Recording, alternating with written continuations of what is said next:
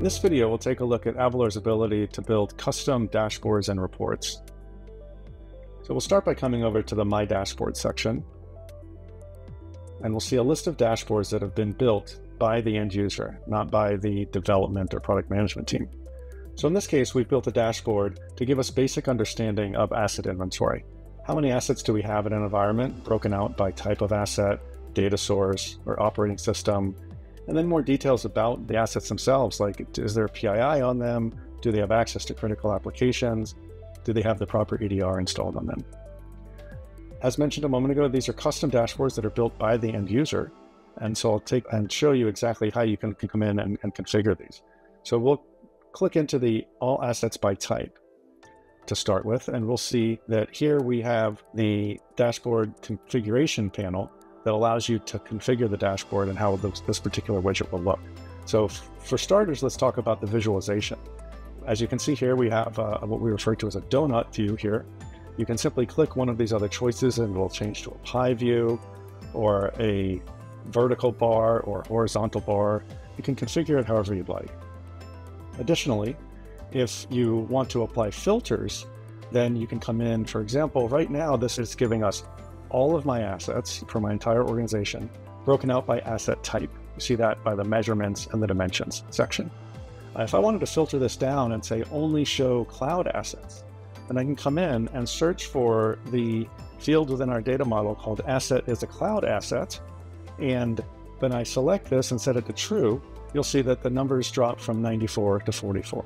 So it's very easy to apply whatever filter makes sense for your specific situation. Let's take a look at a couple of other dashboards that we've built for some of our clients that we've sanitized. So here we have a dashboard that we've built for a customer that wanted to better understand their, their coverage for in-scope assets. So they have a variety of different tools installed in their environment, such as Carbon Black, Big BigFix, Intune, Apex One, etc.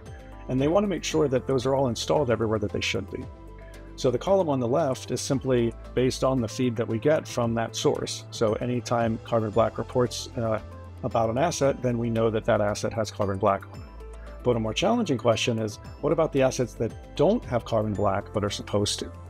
So if you think about that filter that I just applied a second ago for asset as cloud asset, we can also filter on other attributes like the type of asset.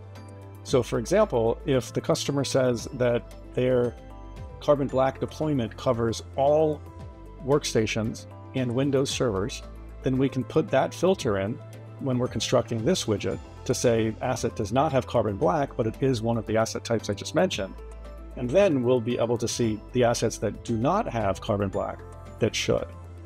And I should mention that this screenshot was taken right after we shared this dashboard with the customer before they had an opportunity to take action on it. These numbers are much better now. So in addition to visualizing the information from a high level, as I just mentioned, taking action on the data is where reports come in. So we have this other screenshot that's showing the report that aligns with that same dashboard that I just showed you. It's the same 8,670 roughly assets, but now it's a table or a list. So the entire list can be downloaded and sent to the appropriate team, or you can use the filter capabilities within the platform to filter on any additional attributes such as the region where the asset is or the asset owner, etc., and then send that to the appropriate person. Also, you can schedule these lists to be sent out. Now, you might not want to send something out when there's 8,000. That's that's kind of overwhelming. But once you get to steady state, and there's really these numbers tend to be around zero, but every once in a while a new asset is deployed that doesn't properly get the right software on it. So this jumps up from zero to some higher number, like two or three then you could have this report automatically sent out to the appropriate resource. Finally, I'll show one more dashboard where we've pulled in the information from Zscaler, the suspicious content score on the user, and we've associated that with the workstation that that user was last seen to log into, uh, and what department they're in, and the host name, operating system of the asset.